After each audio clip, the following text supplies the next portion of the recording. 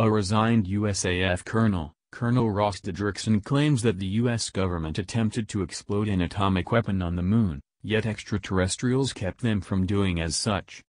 In the 50s, a piece of Dedrickson's duties included keeping up the stock of the atomic weapon reserve for the EC and going with security groups looking at the security of the weapons. Aggregate Evolution reports. To the extent the standard goes, it's open information that a declassified report by the Air Force Nuclear Weapons Center from June 1959 shows exactly how genuinely they considered the arrangement, called Project A119. When all is said and done, they needed to examine the capacity of weapons in space, and in addition increase promote understanding into the space condition and the explosion of atomic gadgets inside it. To the extent the data underneath, that most likely goes further into the black budget.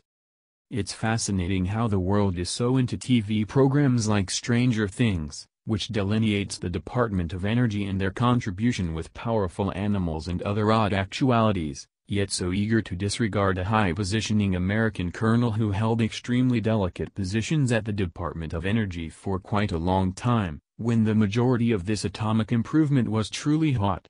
He is the genuine article and it's fascinating to contemplate what he may truly know.